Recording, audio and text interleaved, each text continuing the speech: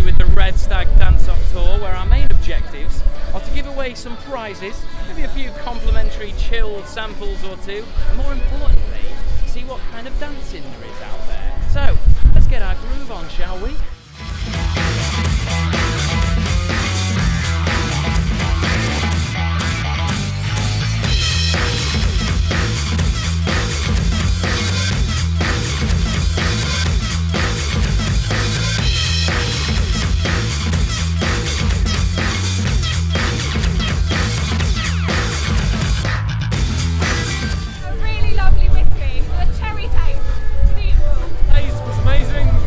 a real good kick at one